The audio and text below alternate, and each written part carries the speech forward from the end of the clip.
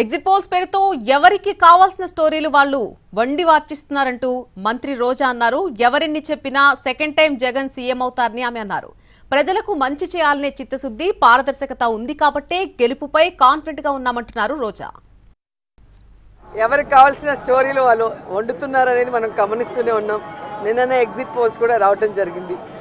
ఎవరు ఏం exit polls ఇచ్చినా ఎక్కడ ఏం డిస్కస్ చేసినా ఫైనల్గా జరిగేది సెకండ్ టైం జగనన్న సీఎం.